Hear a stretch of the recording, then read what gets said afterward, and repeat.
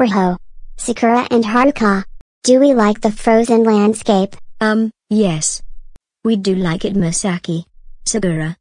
Can you keep an eye on Riho? Um, yes. Hey, Riho. Look at the frozen landscape. Ah, I love the frozen landscape. Beautiful. I always love it.